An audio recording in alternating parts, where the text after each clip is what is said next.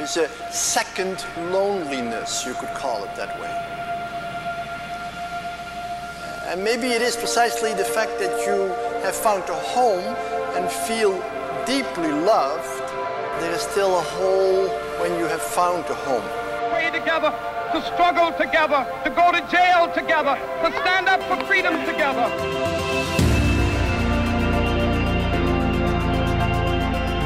We have to understand that we're not each other's enemy. We have to say, let's move forward. It can feel daunting to not be perfect when you've got all these like perfect people. People aren't perfect, no one's perfect.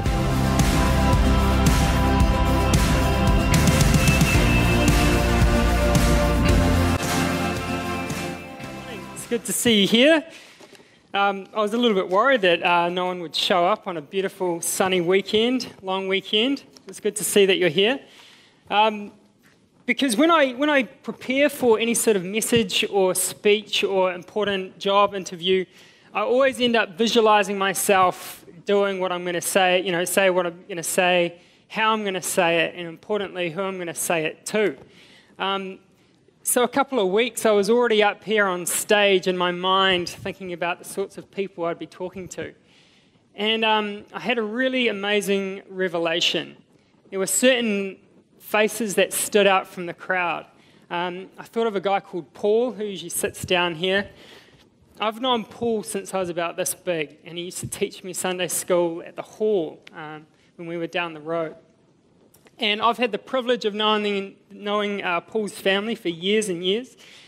And he has told me so many stories over his life about his faith, um, his testimony. And I realized that these little stories from time to time really shaped me and encouraged me. Um, and then I thought of a guy called Avon who usually sits over there. I've only had about three or four conversations with Avon, but every time I talk to him, I walk away thinking, man, there's something cool about that guy, and I really, really want to be like him when I'm older. And then I thought of other people who I've had dinners with over the last few weeks, um, I've mowed lawns with, um, I've had career advice from. And I thought these sorts of people are the small voices in my life that have shaped me. And they're not like these letters up here, they're not big and loud, they're not famous, they haven't written books, but they've been faithful and the small day to day things in their life. And it's these small voices that have really encouraged and shaped me over my life. And I thought, this is why we turn up to church. This is why we get involved. This is why we sign up for Guess Who dinners. This is why um, we just uh, sit somewhere new every, every Sunday. Not so that we can get free career advice or get our lawns mowed, but so that we can use our stories and our talents and our abilities to bless others. And if that's the only thing that you remember during the sermon, then I'm happy. You can get back to Facebook or, or uh, go and have a coffee now. But if you want to stay, I am going to be talking about a famous book writing man. I am going to be talking about Henry Nouwen. Who knows Henry Nouwen? Who's heard of him before? Yeah, he's been mentioned at a few sermons uh, here on a Sunday morning. He, um, he's quite famous. He's written heaps of books. He's been quoted by politicians. He's a theo- theologian. He's a psychologist. And there's even websites dedicated to him. And that's when you know that you've really made it in the world, when there's a website dedicated to you. So, who was he? Well, he was born in 1963, uh, sorry, 1932 in Holland, and when he left school, he studied to become a Catholic priest. And during this time, he developed a real desire to study psychology and to marry the fields of theology with psychology. Now, psychology was quite a new field at the time. And so, after he became ordained as a Catholic priest, he left and studied again for six years to graduate as a psychologist. He became an expert in psychology and theology and eventually uh, got his do- doctorate in theology. He spoke, um, so he had teaching positions at very prestigious universities around the world, including Notre Dame, Yale, and Harvard. And after a very successful career teaching at all these universities, he ended up in a very curious place the L'Arche community in Toronto. Now, the L'Arche community, it's a French word, I don't know what it means, um, is a community of, a global community of homes that care for the handicapped and the mentally incapable. And he spent 10 years there, and he was assigned a man called Adam. Now, Adam could not speak, he could not have control over his body, and he had seizures from time to time.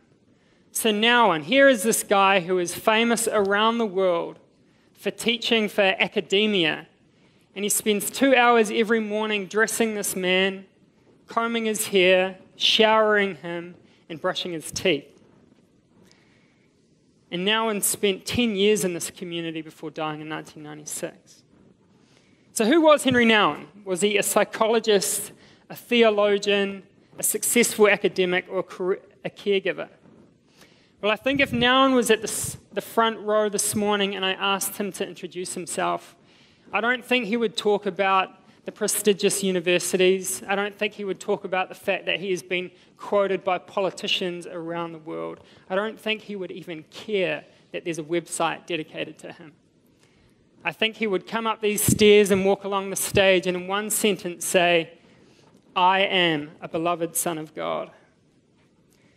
And this statement represents a core theme of Nouwen's work. If you were to read his books or listen to his sermons, you will see this statement. This is a statement of his identity, an essential theme of his work, and is an answer to a very important that we might, question that we must ask ourselves. Who are we, and where does our value come from? You see, Henry talks a lot in his books about wrestling between two voices. The first voice, which tells him to go into the world and to prove himself, to achieve great things, and to prove to yourself and to everyone else that you can be great. You can achieve big things. You don't need anyone else. You are who you achieve, what you achieve. And then there's a second voice, a voice that tells him that he is the beloved Son of God. And I think we can all relate to Nouwen because you and I wrestle with these voices every day. When we go out these doors into the world, there are voices that tell us you are what you create, what you produce, how much power you have, what you look like. And then there is an inner voice, another voice, a voice that we find in the Bible that tells us to rest in the knowledge that we are the beloved children of God. So we have that choice in our lives. So, how do we know which voice we're listening to? Well, I want to ask you a question. I was asked this question in January this year. It was a hot, stuffy room. Uh, there was about 150 other people with me. And this question was asked of me that stood out among everything else that was said that morning. And I want to ask you this question What are you jealous of? Now, it's not a question designed to make you feel guilty or to feel, feel stink about yourself. I'm not into spiritual abuse. But I want to give you 15 seconds to think about it. What makes you jealous? When were you last jealous? Was it a good thing or was it a bad thing? Or was it neither? 15 seconds, starting now.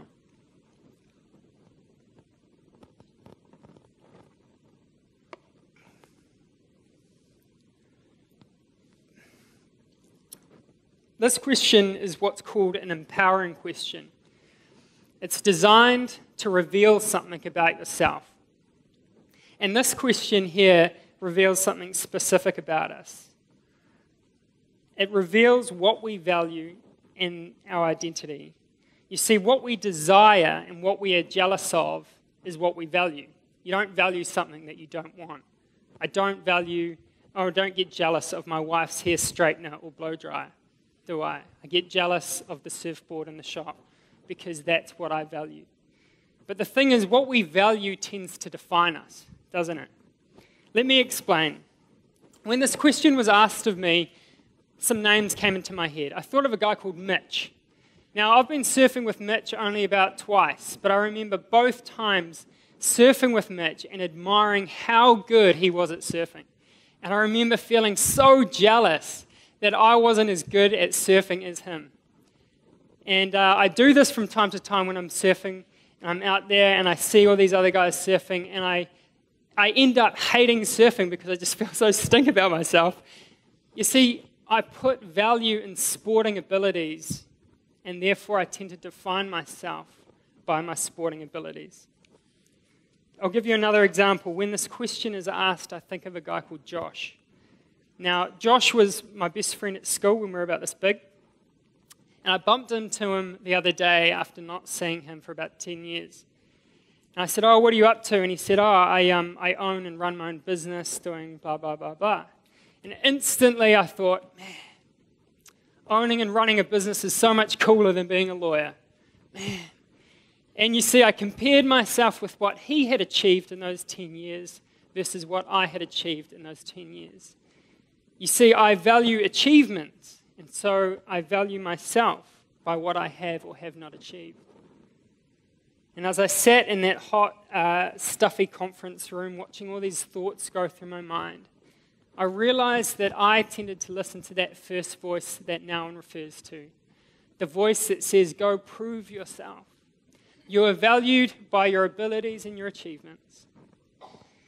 And I realized that I can go through life comparing myself and finding myself valued by how my abilities compare to others or how my achievements compares to others. And most of us do this, right? We compare. Just, uh, just yesterday morning, my wife was reading this article in the Canvas magazine, which is in the Herald. And the first article is on this. And this lady is writing about the fact that we compare the rich and the poor and who's above us and who's below. And she says, when we compare what we have, most of us not look to the family sleeping in their car, but to our neighbor who's putting in a pool in time for next summer. So rather than feeling grateful, we are left feeling bitter. And, um, you know, I think it's, it's in the papers and it's all around us. The fact that we are tempted to put our worth in our abilities, our achievements, our positions, and what people think of us. But there are some real consequences if we listen to the first voice rather than the second voice. And I want to share with you Nouwen's own journey of that. This is a passage from his book, The Return of the Prodigal, which my wife spoke about a couple of, uh, about a year or two ago. And he says this At issue here is the question to whom do I belong? To God or to the world? Many of my daily preoccupations suggest that I belong more to the world than God. A little criticism makes me angry, a little rejection makes me depressed, a little praise raises my spirits, and a little success excites me. It takes very little to raise me up or thrust me down. Often I am like a small boat on the ocean, completely at the mercy of its waves. All the time and energy I spend in keeping some kind of balance, preventing myself from being tipped over and drowning, shows that my life is mostly a struggle for survival, not a holy struggle, but an anxious struggle resulting from the mistaken idea that it is the world that defines me. And I wonder if there are many of us here today who feel a little bit like that small boat, tossed around by the weight of other people's opinions and expectations. In Henry's, sorry, in Nouwen's books and sermons, you will find other illustrations of what it's like to forget where our value comes from. But this morning, I want to show you an illustration uh, from myself. I want to imagine that this beach ball represents your value your identity and where you get that from. Now we have two choices to listen to the second voice, which says, Rest in the knowledge that you are loved by God. You don't need to prove yourself, you don't need to have lots of things to feel valued. Or you can listen to the first voice, which says, well, your, your value comes from what other people say about you. How about you say, you see what other people think? How, how about you put your value in other people's hands? So you do this. And you get tossed around by the weight of people's expectations, thrown around by what they think. And then it comes back to you feeling flat and rolling across the floor. That was supposed to be passed around the entire room, so it didn't really work. We wouldn't have enough people here today. But I hope you get the image that when you have the choice to put your value either in the firm, secure foundation of what God thinks or in other people's hands, you get tossed about. Your life is turbulent. The thing is that once you put your value in other people's hands, it's hard to get back. But there is a second voice that we can listen to that tells us that our worth comes from somewhere else. And it's a voice that we find and hear. It's when we see it in Genesis chapter 1 where God creates us in his image and he calls it good. We read it when we read through the drama unfolding in the Old Testament, where you can almost hear God's heart break every time his people walk away from him. We read it in the prophet of Isaiah, where he talks, he paints the picture of Israel being a child who has left his father and no longer knows his father's voice. We see it in the prophet of Amos, where he paints Israel as the lover who has betrayed her husband. We see it in Jesus being nailed to a cross to forgive the sins of those who have put him there we are convinced by it, by Paul's letter to the Galatian church when he says, Stop trying to prove yourself.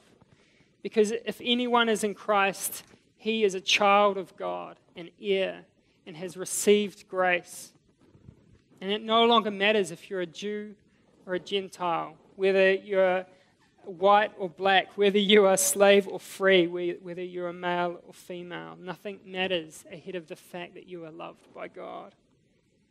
And finally, we see it in Revelation 21 at the beginning of eternity, where God has raised those in Him from the dead. He has restored all of creation so that He can be with His children and they can be with their God.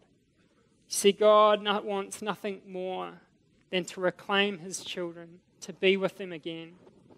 He loves us and He wants to be with us. And that is the voice we are to listen to. We are more than our abilities, our achievements, our possessions. We are more than what other people think of us, what they say about us. We are valuable because we are loved by God. And how we are valued is not just important for our own sanity, so that we don't feel like a beach ball tossed around a crowd. If we, if we derive, you see, the thing about value is that how we value ourselves tends to be how we value others, right? If you derive your significance and your value because of your financial security, are you then tempted to value other people by the same measure? If we value being seen as cool and hip and important, when we go have coffee out there afterwards, do we then look for the cool and the hip and the important people to sit to over the others? And there are two problems with this. The first is that we are called to live to a higher standard. We are commanded to love one another regardless of what that other person has done or is, whether that is an enemy or a friend. And if you're a Christian, you don't actually get a choice. God doesn't want a society that is divided by the discrimination between rich and poor, between the cool and the uncool, between the important and the unimportant. Let me read to you from James chapter 2, and this is the message version. My dear friends, do not let public opinion influence how you live out our glorious, Christ orientated faith. If a man enters your church wearing an expensive shirt and a street person wearing rags comes in right after him, and you say to the man in the suit, Sit here, sir, this is the best seat in the house, and either ignore the street person or say, Better sit here in the back row, Haven't you segregated God's children and proven that you are judges who cannot be trusted? Listen, dear friends, isn't it clear by now that God operates quite differently? He chose the world's down and outs as the kingdom's first citizens with full rights and privileges. This kingdom is promised to anyone who loves God. James goes on, You do well when you complete the royal rule of the scriptures love others as yourself. But if you play up to these so called important people, you go against the rule and stand convicted by it. You can't pick and choose these things, specializing in keeping one or two things in God's law and ignoring the others. The second reason that it is important to consider how we value ourselves and how we value others is that it's rather hard to love people when you value them through human eyes. Who here has often thought, man, why is that person so hard to love? That difficult person in your family, is a few hands going up. That person in the church congregation that just needs that little extra bit of grace and patience. Or those work colleagues. You see, it's hard to love these people, isn't it? I mean, most of us would cook a meal or chop firewood for someone who showers us with praise and affirmation but you know, Jesus calls us to love our enemies, to cook a meal or to chop firewood for that bitter, cynical, gossiping person that we know. And that's hard, isn't it? And so many times I have prayed, God, teach me how to love this difficult person in my life. But how did Nouwen do it? How did Nouwen go from prestigious universities to caring for people who couldn't even read his works or care about websites devoted to him. I think Nouwen found his capacity to love others by realizing that he was very much loved himself. And if we too can be anchored in the knowledge that we are deeply loved, and if we can realize that others are loved in the same way, then our capacity to love those difficult people in our lives will increase. And I think slowly we'll realize that it's that bitter, cynical, insecure person that needs that meal or that firewood the most because they are most in need of God's love. Church, we must listen to that second voice the voice that tells us that we are all the beloved. We are beloved sons and daughters of God. Otherwise, we will not have no hope in fulfilling the commandment to love our neighbor as ourselves. As the worship team comes up, I want to leave you with a couple of pieces of advice. The first comes from Nouwen, and that is to pray and meditate. I've realized in my extensive life on earth that inner change does not come quickly. Changing our character, changing our minds, the renewal of our minds is a process. And it takes prayer and it takes meditation and it takes daily, daily thought. For me, it's praying every morning God, thank you that I am your beloved Son. Help me to realize this and help me to see others as your beloved sons and daughters. The second piece of advice is from me kill the comparison. If you have the disease of comparison, like me, life is tiring always comparing yourself how you match up with other people. And I think Theodore Roosevelt put it really well. Comparison is the thief of joy. If we can learn to listen to the first voice, sorry, the second voice that tells us that we are loved by God, then we can choose to ignore the second voice, which tells us that we must compare, we must compete, and we must prove ourselves. And if we can do that, then we can be God's community that He wants community of love. Let me pray. Heavenly Father, we thank you that you love us. We just ask that your Holy Spirit would help us to understand the extent to which you love us. That we are not loved because of what we've done or what we can do, but we are loved because you have chosen us as your children. We ask that this reality would sink in, Father, so we can love others to the capacity that you call us to. In Jesus' name, amen.